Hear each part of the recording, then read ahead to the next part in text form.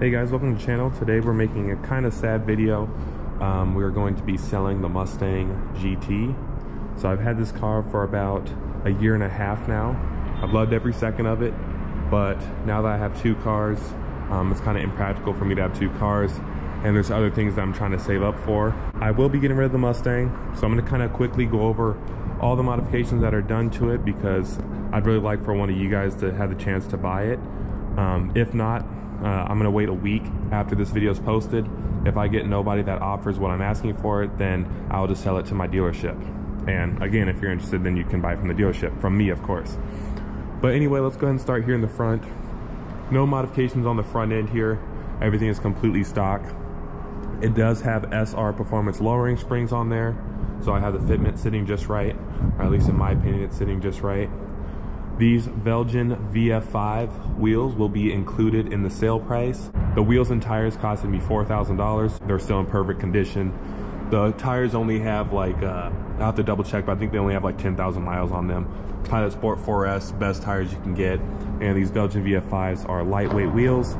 They're 20 inches, 20 by 10 in the front, 20 by 11 in the rear, 275, 35, 20 in the front, and 305, 35, 20 in the rear. It does have a professional paint correction and ceramic coating on the paint. So the paint is in very good condition and the water just completely beads off of the paint, which is really nice. Looking at the rear here, the only thing I did was upgrade the spoiler. The stock spoiler will be included for anyone who purchases the car. If you want the stock one, if not, I'll just throw it away. In the back here, we have our Borla exhaust. This was a very expensive modification for me, but it's definitely well worth it because it sounds amazing. I do have videos on that if you guys are interested in seeing what it sounds like. But Borla exhaust is retail for $2,000 um, on the Borla website and $1,800 on American Muscle. So it's a super expensive exhaust system. Again, will be included in the sale price of the car. This is Rapid Red Metallic, all new color for 2020 and newer.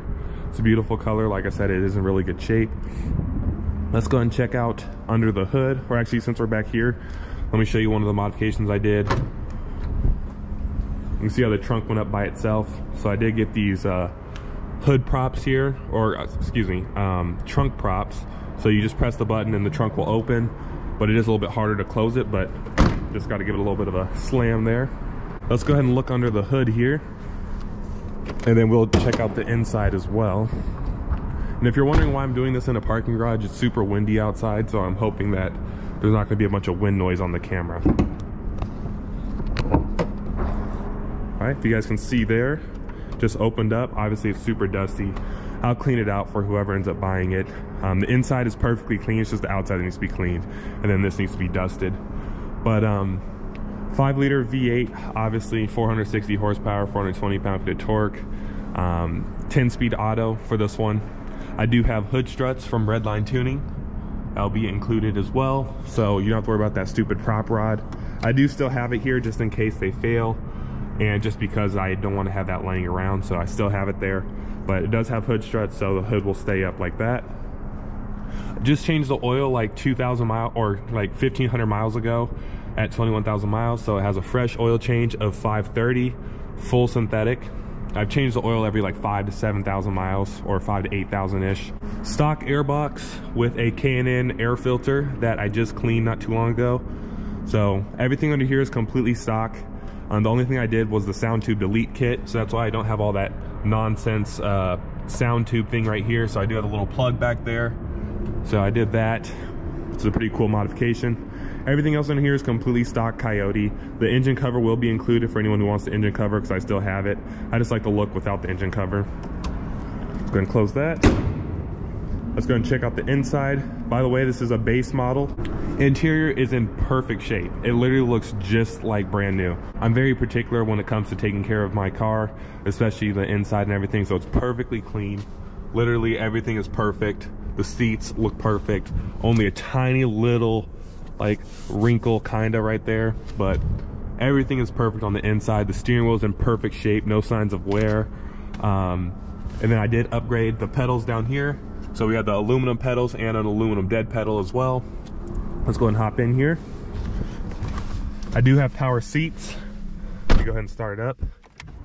Ooh, that sounds really good. All right, so I did upgrade to Sync 3. I did a full OEM upgrade kit. It's not one of those knockoff aftermarket ones that look like garbage. This is a 100% OEM sync screen that works 100% like the factory would. Because this one came with a little calculator screen. So I upgraded that. Drive modes worked just like normal.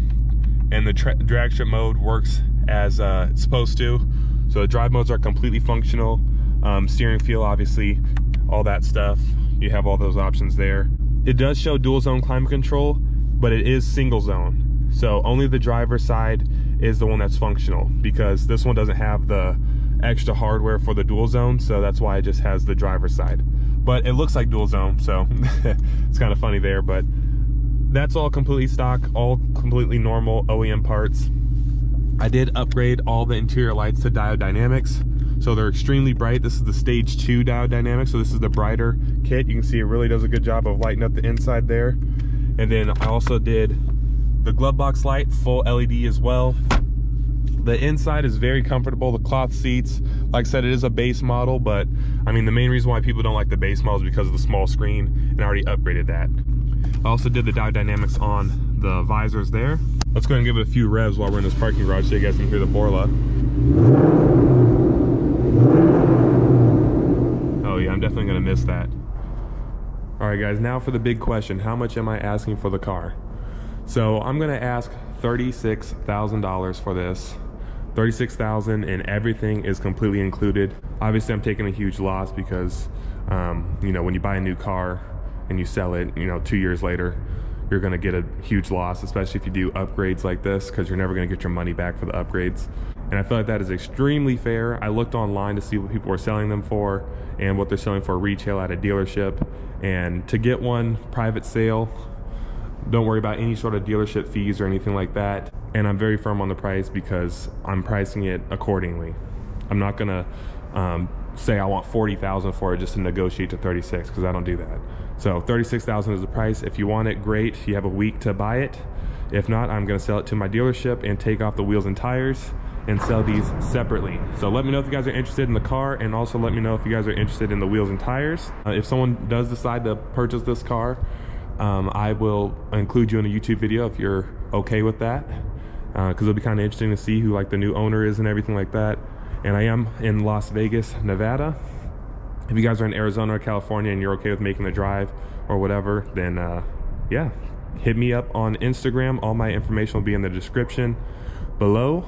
And uh, hopefully it goes to a great home. It's definitely been really good for me. All right, guys, one last thing I forgot to mention. Mileage is 22,593. I'm driving home right now, so obviously it'll be a little bit more, but basically 22,600 miles. I'm also gonna include an ad online um, showing all this stuff so you guys can read an ad if you want to. And uh, I'll include some pictures and everything. And yeah, reach out to me on the ad or reach out to me on Instagram and hopefully we can set something up. If you guys enjoyed this sad video, please go to like and subscribe and I will see you in the next one.